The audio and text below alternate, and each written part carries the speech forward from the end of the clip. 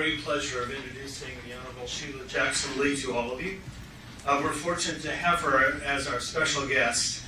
Um, Congressman Jackson Lee is serving her ninth term as a member of the U.S. House of uh, Representatives. She represents the 18th Congressional District of Texas, as Lovell stated, uh, which is centered in the inner city of Houston. She earned a BA in political science from Yale University with honors, followed by a law degree from the University of Virginia Law School. She sits on three congressional committees the House Committees on the Judiciary, Homeland Security, and Foreign Affairs. She was recently named the new chairwoman of the Homeland uh, Security Subcommittee on Transportation Security and Infrastructure Protection. Her legislative activities cover a myriad of fronts, including health care, civil rights, education, crime, families and children, and immigration, all of which reflect her ongoing efforts to help the underserved and less. Um, and uh, no doubt you heard all of those reflected in the, uh, in the lecture by Professor Ron just uh, over the last hour or so.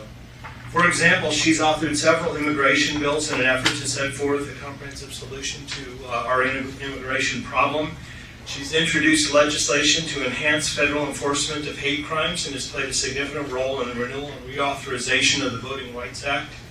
She's offered an amendment to the NASA reauthorization bill that would ensure equal access for minority and economically disadvantaged students to NASA's education programs. And she's launched a, a large and prestigious grant program to uh, uh, work with institutions serving minorities to bring more women of color to the field of space and aeronautics. This desire to help is also evident in other activities in which Congresswoman Jackson Lee is engaged. She's co-chair of the Congressional Children's Caucus and a member of the Pakistan Caucus, Afghan Caucus, and the newly formed Algerian Caucus. So clearly she has an international role in, uh, in leadership in the issue of fairness, just as we've heard again in Professor Marmot's presentation. She uh, has a number of leadership positions uh, in, in the Congress working with various uh, subsets of that, and she's been actively engaged in addressing and resolving the genocide issue in Darfur. Uh, accordingly, she met with Sudanese refugees in Chad, for whom she secured additional funding, and African Union soldiers in Sudan. Many organizations have recognized Congresswoman Jackson Lee. Ebony Magazine, for example, hailed her as one of the 100 most fascinating black women of the 20th century. Congressional Quarterly named Congresswoman Sheila Jackson Lee as one of the most effective members of Congress, ranking in the top 50. U.S. News and World Report named her as one of the 10 most influential legislators in the House of Representatives. And the Houston Chronicle uh, named Sheila Jackson Lee as one of the most influential and prolific legislators in Capitol Hill. Uh, most recently, she was named a member of Congress with the largest and most impressive vocabulary, based on the words that may be found on the uh, SAT test. So, as evidenced by the long, outstanding career of Congresswoman Jackson Lee, we are honored to have her join us today. Um, please welcome uh, me and the rest of us in, in, in her attendance at this uh, symposium.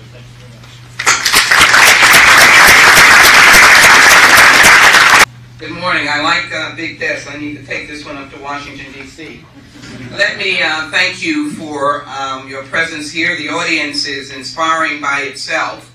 Uh, so I'm going to ask you so that you can wake up and, and get really uh, lively here. I can't ask you to dance, is to give yourselves a rousing applause. Loud enough that we can raise the roof. Act like you're at the Rockets and they're in the final game of the NBA Finals. Let's go. Give yourselves a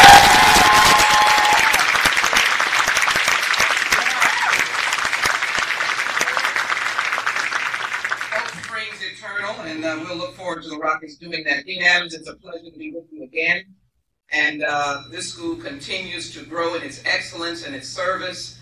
Uh, as I look to the landscape of healthcare in America, I know that Prairie View A&M School of Nursing, uh, who has had its own mountains and valleys, now at the mountaintop of service, needed all across America as we begin our new journey in the implementation of the Affordable Care Act. I know your nurses are going to be on the front line. Give her and the Kirby and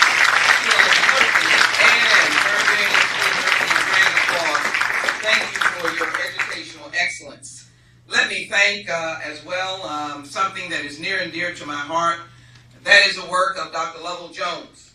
Uh, I call him a national treasure. He has been working with members of Congress uh, for more than two decades, and he has generated out of his advocacy a number of unique and outstanding efforts uh, that we have promoted. I uh, offered uh, and established the Office of Minority Populations that exist in Health and Human Services, numbers of grants that have enhanced uh, the issue of disparities in healthcare. I would say to you that when Dr. Jones started, uh, I can tell you that there were no lingo about disparities in healthcare. You're sick, you're sick. They didn't understand the Native American population, they didn't understand Hispanic population, African American, uh, whites who came from rural America. All of those environmental, uh, if you will, impact issues were not in the psychic of legislators some years ago. My predecessor, one of them, uh, the Honorable Mickey Leland, certainly had a sense of the environmental impact here in Texas by advocating for the uh, toxic center that is still in the Texas Medical Center um, and still exists, though we are in always in jeopardy of its funding, but it dealt with the idea of toxicity in the air because Houston had for a traditional amount of time, even today, uh, problems with air quality because we are in the energy corridor. Let us give Dr. Lovell Jones for his uh, research, his academic presence, but more importantly, his stubbornness and steadfastness on the issue of advocating for the existence, the research uh, for disparities in healthcare. That's why you're here today. Dr. Lovell Jones. That's a very light applause. You're here today.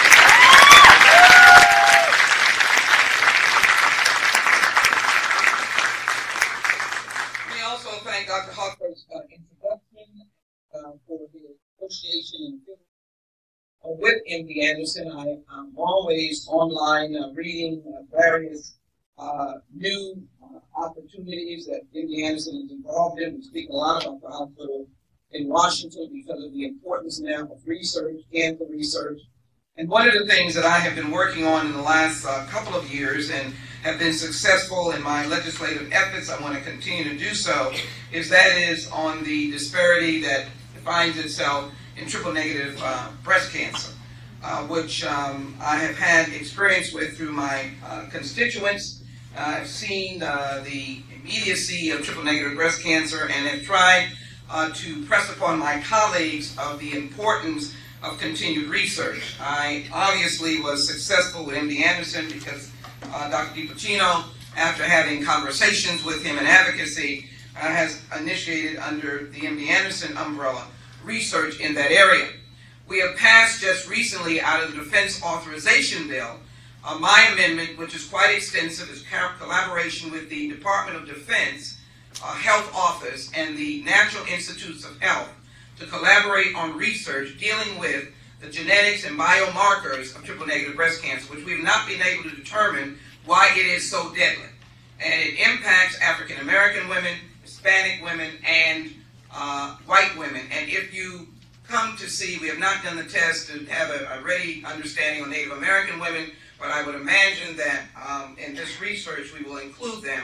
But if you understand breast cancer stages one, two, three, and four, just imagine that you have triple negative, you jump to four immediately.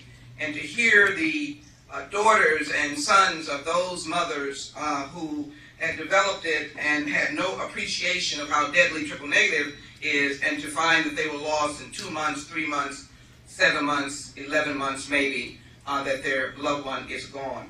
That's the impact of health disparities in one instance. And so, as we work towards social justice, as this particular session uh, is in, I thought I would not compete with those who are trained uh, in the sciences, even though I served a number of years on the science committee and consider myself an aficionado of uh, pushing for the next level of science, whether it is through NASA, which of course many of you may be aware that in human space exploration we did research in HIV AIDS, we did it in stroke, heart disease, and cancer, and so I am a uh, diabetes and strong and very much uh, an advocate of space exploration. I cite for you Dorothy Height, who has been honored uh, by naming this effort after her. Dorothy Height said, I want to be remembered as someone who used herself and anything she could touch to work for justice and freedom. I want to be remembered as one who tried. And that's what I ask you to do as you sit in this room as students. We cannot have those who sit along the highway and watch and wave a flag, though that is certainly an action item. We really need those who are going to get in the fight. I am wearing a large, uh, if you will, button here that emphasizes the need for involvement.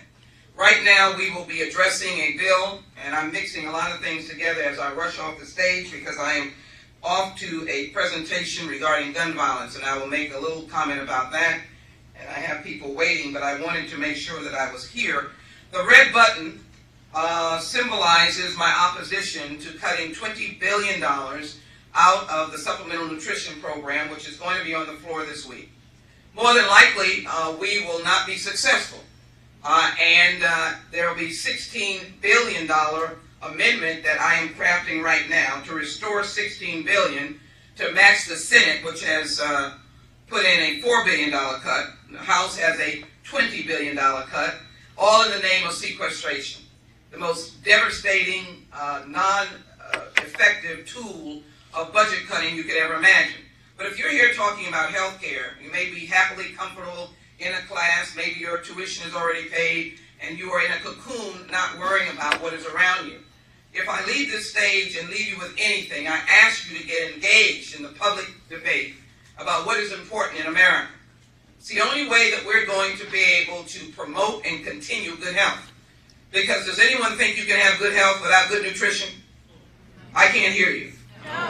Uh, if you have a food stamp program or supplemental nutrition that is on $4.50, which I took to test, I went to HEB and I spent $3.91. I got a packet of smoked chicken, two apricots, two potatoes, one um, tomato, one avocado, and one bottle of orange juice. Imagine a family or a child having to live off of that. I will be eating one day breakfast, lunch, and dinner. I will only have the smoked chicken in a package that was 58 cents in the dinner time. I will try to survive off of the avocados, and I did get a banana for breakfast. I will try to survive off of one potato, avocado, tomato, parts of it. I'll cut it in half, and then the rest will be for dinner. Imagine that for a child. I have no milk, no cereal, no real vegetables. And so when you think about health care, you have to broaden your vision beyond just the idea of someone coming in on a gurney with an emergency situation. What you must think about is what Dorothy said as I reflect on the hope and challenges facing women in the 21st century. I'm also reminded of the protracted struggles of African American women who joined together as sisters in 1935. In response to Mrs. Bethune's call, it was an opportunity to deal creatively with the fact that black women stood outside the American mainstream of opportunity, influence, and power. As she grew, she understood it was all women. She understood and advocated for Hispanic women and Asian women, Native American women. And so in the instance of what we're doing here, we must recognize that today disparities still exist. They still exist in a number of areas where I know that you have understood them.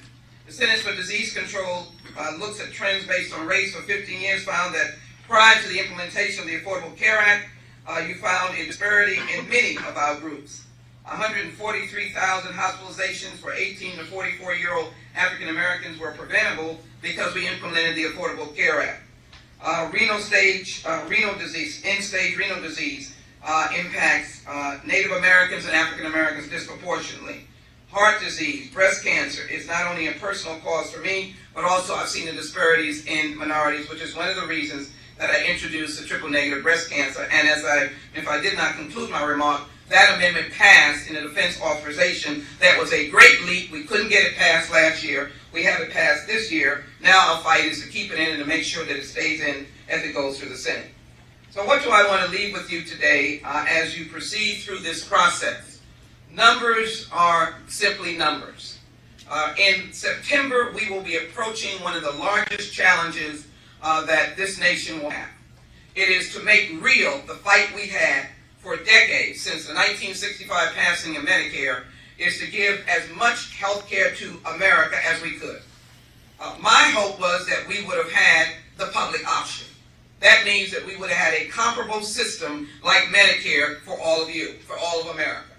And you could have opted into the public option system, which would cover everybody.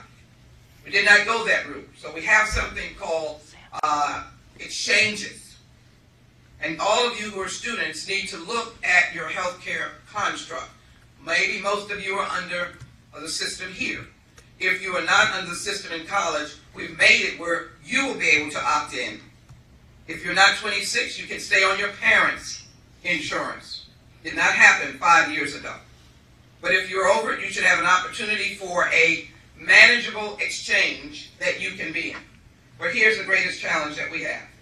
In September, we will have the challenge to enroll America. People want to enroll in school, they have a desire, they know they can go to a school building, uh, they can go online, and they can enroll. Try to enroll 350, 60, 70 million Americans plus.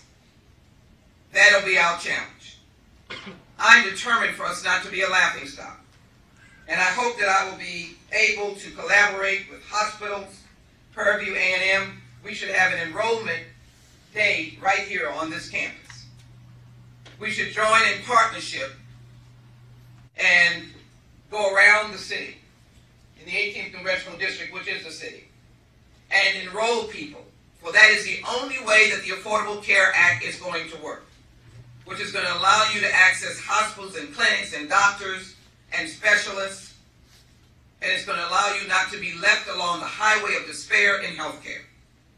And so if we are going to be both students of healthcare, proponents of healthcare, you have to be advocates of healthcare. You have to actually accept that you are part of Martin's dream. It will never be fulfilled. Those in this room do not grab hold of it, climb the mountaintop that he challenged us on April 3rd, 1968. Night before his death, when many of us believe he prophesied his death. For it offered to us, not to us of color, but he said to America, I have been to the mountaintop. I have seen the promised land. I may not get there with you, but I know that we as a people will get there someday.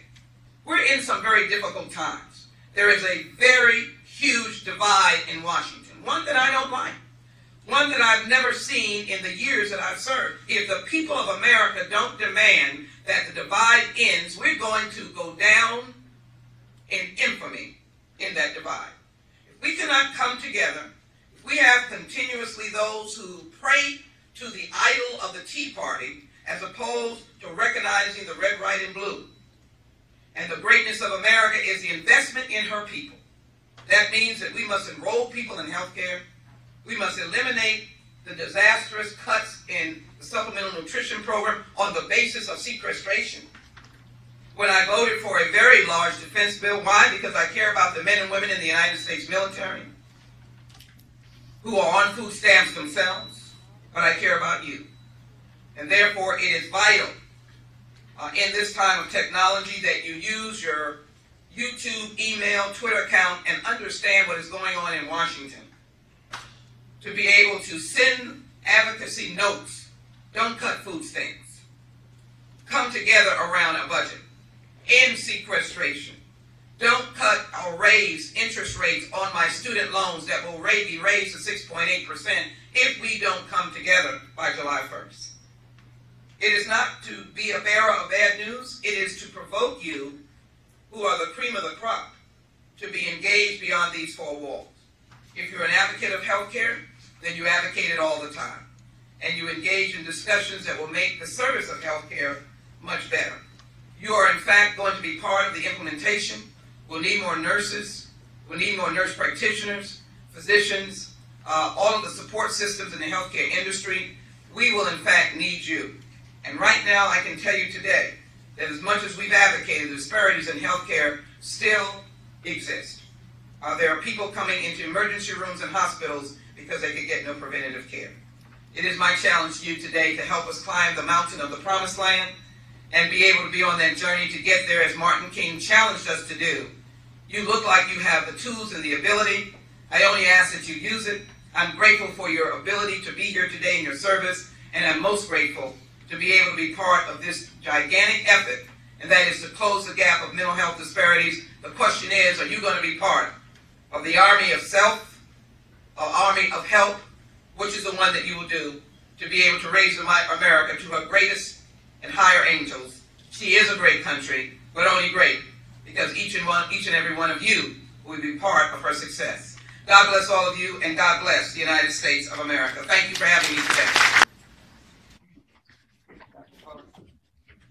Dean Adams, thank you.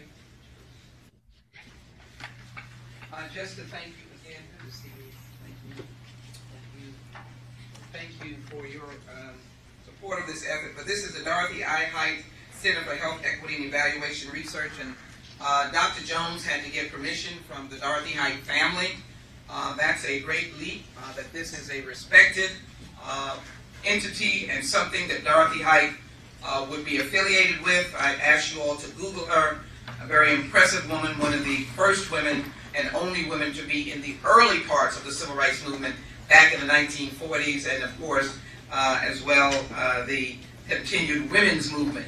So she is an icon in and of herself. But this is a certificate of special congressional recognition presented for the Dorothy I. Height Center for Health Equity and Evaluation Research, 11th Annual Disparities in Health in America Working Toward Social Justice Workshop. It concludes by saying that this effort, and Dr. Jones and this workshop and this effort of curing health disparities uh, is in fact deserving of the commendation, respect, and admiration of the United States Congress. I'm delighted to say that Sheila Jackson Lee, Member of Congress, June 17, 2013. We're going to step this way so we can get a good shot. Thank you all very much. Does anyone have one question?